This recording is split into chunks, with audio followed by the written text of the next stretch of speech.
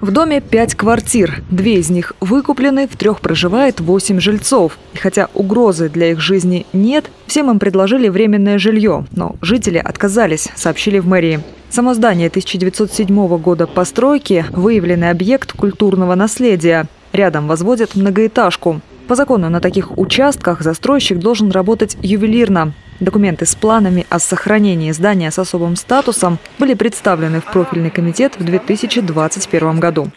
Раздел по сохранению содержит достаточно мероприятий по сохранению данного объекта. Насколько эти мероприятия выполнялись застройщиком, это предстоит установить, конечно.